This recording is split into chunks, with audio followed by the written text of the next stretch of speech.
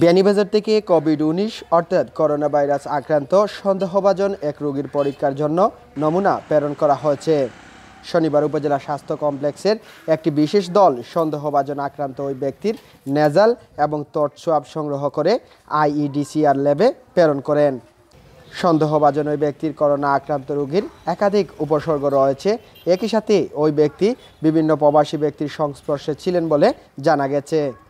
আগামী দু, একদিনের মধ্যে এ পরীক্ষার ফলাফল জানা যাবে বলে জানিয়েছেন উপজেলা স্বাস্থ্য ও পরিবার পরিকল্পনা কর্মকর্তা ডাক্তার মুয়াজ্জেম আলী খান চৌধুরী।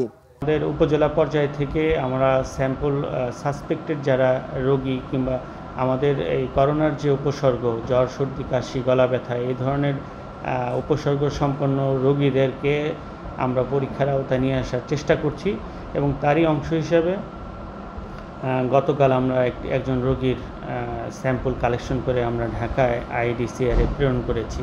তো এই কার্যক্রম আমাদের অব্যাহত থাকবে। আপনারা এই জ্বর, সর্দি, কাশি, গলা ব্যথা, এই ধরনের উপসর্গ যাদেরই থাকবে, তাদের, তারাই আমাদের সাথে যোগাযোগ করবেন। আপনাদের কল্যাণের জন্য, আপনাদের স্বাস্থ্য ঠিক রাখার জন্য, আপনাদের পরিবারের সদস্যদেরকে নিরাপদ রাখার জন্যই যত দ্রুত সম্ভব এই পরীক্ষা যদি আপনারা করেন, নিজেরা আপনাদের অবস্থাটা জানতে পারবেন এবং অপরকেও আপনাদের সংক্রমণের হাত থেকে রক্ষা করার একটা সুযোগ আপনাদের কাছে থেকে যাবে।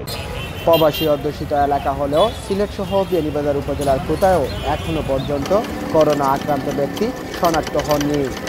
এই অবস্থায় সকলকে সচেতন ও সতর্ক থাকার অনুরোধ জানিয়েছেন সংশ্লিষ্টরা।